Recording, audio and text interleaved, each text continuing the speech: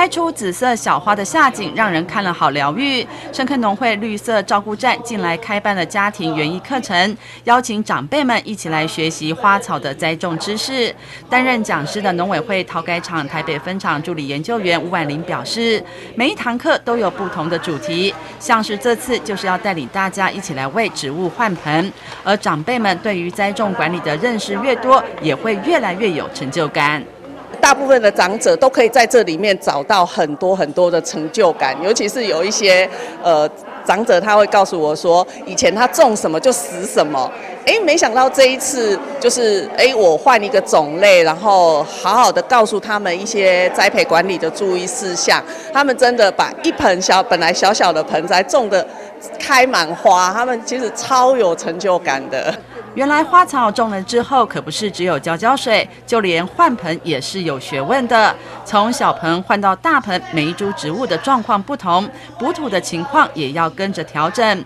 长辈们说，来上课之后学到很多，更是享受和大家一起学习的过程。非常高兴，非常高兴，学到很多很多。其实我们已经种过很多，我们以前永远不知道的一个植物的世界。我我们现在。其实也记不得，可是很高兴这个过程。以前都不知道，都忙着上班。那呃，来到农会上课之后，才懂得哦，从那一个小小盆子换到大盆子，我们必须要先填多少的土，然后要放多高。来到这边上课才学到。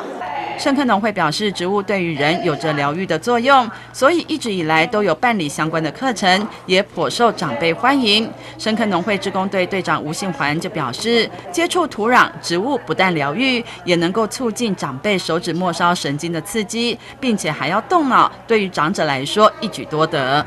在种的当下，他们手指会去碰触，所以呢，对他们的末梢神经哈的循环的促进是非常好的。嘿。再来就是说，他们会用脑筋去动动脑，好，他们会去把它分支，要不然就去去把它组合，好，那这个对他们来讲都是很创意的。